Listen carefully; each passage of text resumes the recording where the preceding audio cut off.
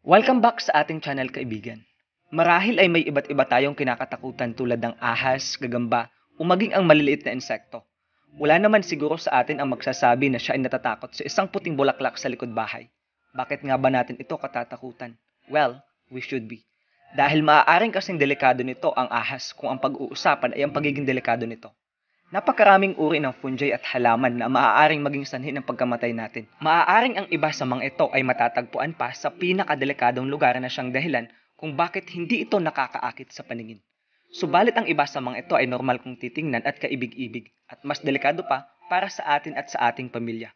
Kaya huwag susubukang hawakan kung makita mo ang mga ito. Ayon nga sa kasabihan, our safety matters. Bago natin talakayin ang pinakadelikadong halaman sa Pilipinas at sa buong mundo, ay nagpapasalamat muna ako sa lahat ng patuloy na sumusuporta sa ating channel, lalo na kay Aspi Pinoy TV, Shane Abigail at Althea Mantes. At kung bago ka pa lamang dito ay huwag kalimutang mag-subscribe, i-click ang like at notification bell upang maging updated ka sa lahat ng ina-upload kong videos.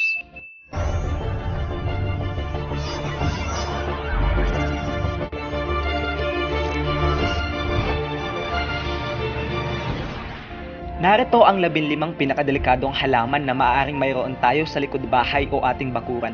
Number 15 ang damcane.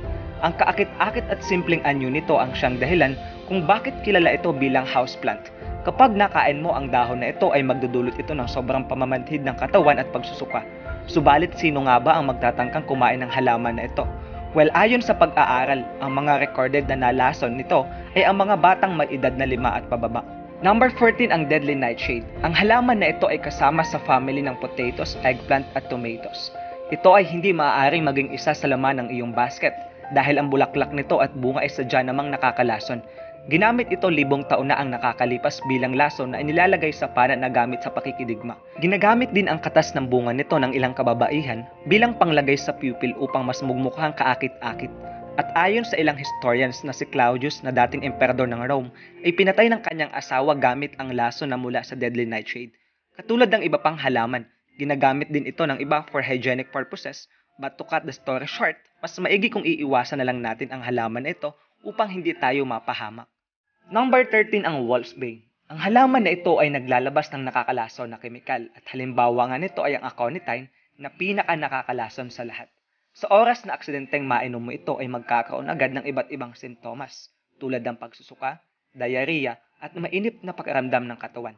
At kapag ginamit ito bilang panglason ay maaaring magdulot ng agarang pagkamatay. Matagal nang may ideya ang mga tao sa pagiging delikado nito sapagkat noong unang panahon sa Greek mythology, ay ginamit ito bilang panglason nang magkaroon ng hindi pagkakaunawan ang mga Diyos.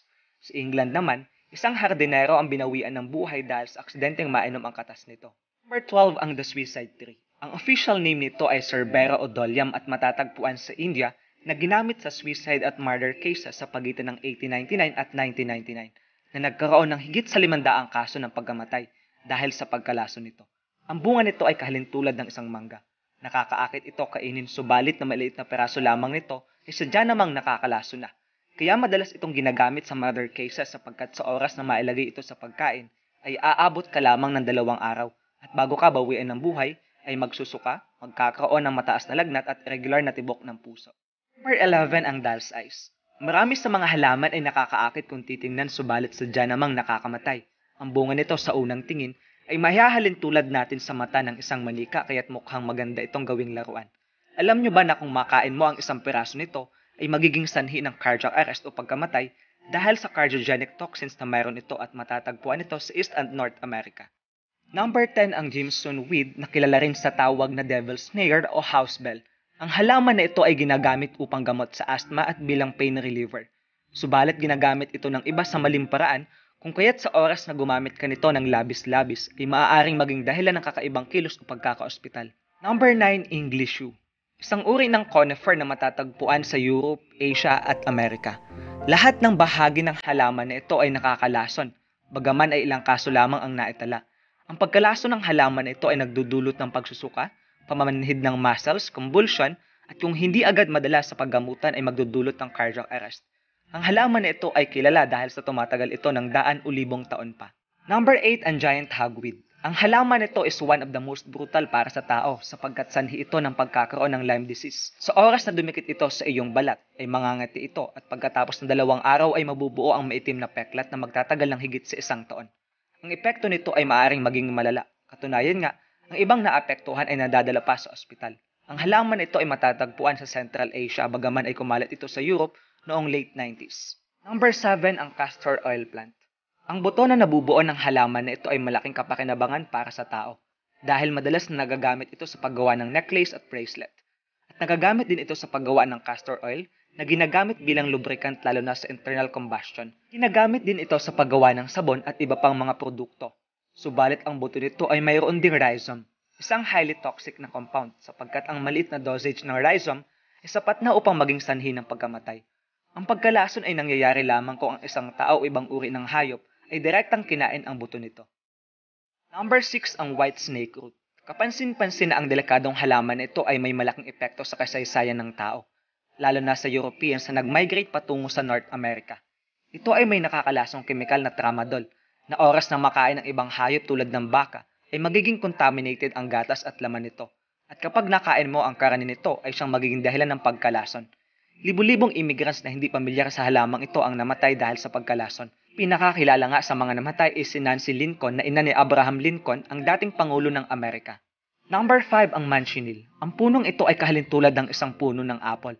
At importante na malaman natin ito sapagkat ang bunga nito ay sobrang nakakalason. Hindi lamang iyon sapagkat ang lahat ng bahagi nito ay nakakalason din. Naglagay na ng warning sign ang mga tao upang maiwasang kainin ito ng mga hindi pamilyar sa punong ito. Susunugin naman ay hindi pa rin nararapat sapagkat ang usok nito ay nakakalason din. Kapag kumain ka ng apple ng manchineel o kilala rin sa tawag na apple of death, ay may matamis itong lasa subalit hindi magtatagal ay mararamdaman mo ang mainit na paaramdam na dulot ng pagkalason. Number 4 ang angel's trumpet. Ang lahat ng bahagi ng flowering plant na ito ay nakakalason. Subalit ang buto at dahon ang dapat mong pakaiwasan.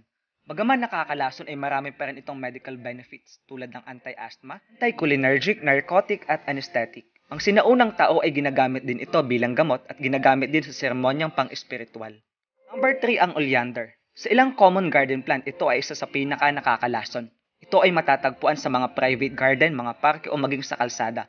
Ilang kaso pa lamang ang naitala na dahilan ng pagkalason nito, sapagkat mataas na bilang ang kailangan nito upang maapektuhan ang ating katawan. Ito ang water hemlock. Ang halaman nito ay sobrang nakakalason para sa tao.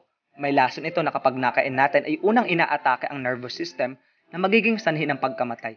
Ang mga kaso ng pagkalason nito ay naitala noong 1970. Number 1 ang rosary pea. Ang halaman na ito ay nakakalason lalo na ang buto nito. Bagaman ay ginagamit ito sa ilang instrumento na pangmusika, ang buto nito ay may toxic compound na abrin na kung makakain ka ng isang peraso ng buto nito ay sobrang delikado na maaaring maging sanhi ng iyong pagkamatay.